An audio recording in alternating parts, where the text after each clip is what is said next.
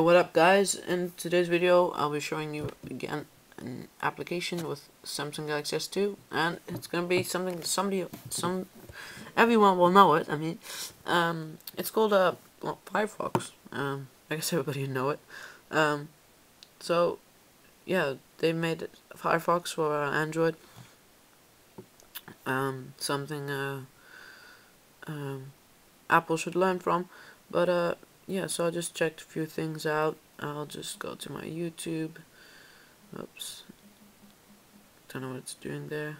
Using swipe, but I don't want it to. So I'll go to my YouTube channel to show you what it looks like.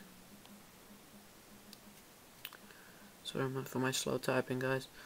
So, um, so now I'll let you search in different ones, but I just want to go to it. So, so now, you'll go to my website.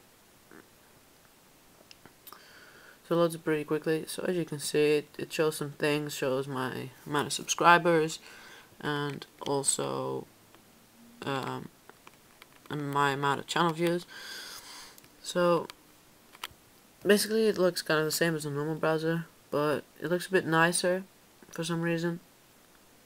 Um, text looks a bit uh, thicker and works a little bit better. Um, I think still I use on my computer I use Google Chrome. I think it is better. So um, yeah, if you do um, download this, you know you have to see. But if you swipe to the right, you can get your favorites, or you can go back a page. Um, I think that's pretty cool. And then you just swipe it away again. Um, it's a nice feature, so you can all see these different things. You can see, you know, pick the um, the language um, and your uh, start page or your home page I mean sorry for that. And uh, yeah you can sync with your normal Firefox that's pretty cool. I did that it looks pretty sick. So you just get all everything from one browser from from the browser on your computer to your phone all the settings and everything.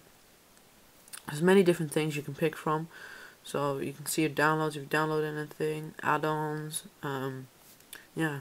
So it's pretty cool. There's actually an add-on that I use called uh, Video Downloader, I believe. And I use it on the computer, so any website you go to, it'll download the video, and it actually works on here too. So I think that's a cool feature.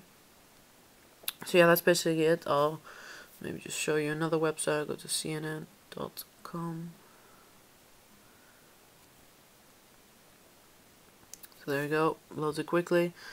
So again, it looks pretty nice. Um, I think it's uh, it looks a bit better actually than a normal browser.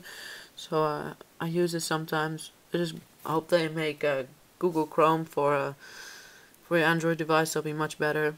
But uh, with this, I can live with this. So um, please tell me what you think about it. And uh, well, that's about it. Please give this video a thumbs up and uh, subscribe to my channel please. It'll help me out a lot. And uh, if you have any questions about it just um, leave them in the comment section below. I've got to say it is free in the market so uh, just download it. You don't have to pay anything for it. So thanks for watching guys. See ya